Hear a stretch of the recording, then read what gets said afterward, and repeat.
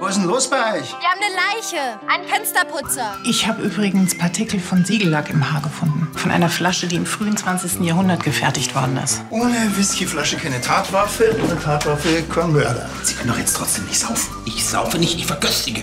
Gut, dann will ich auch einen. Schon Dienstschluss?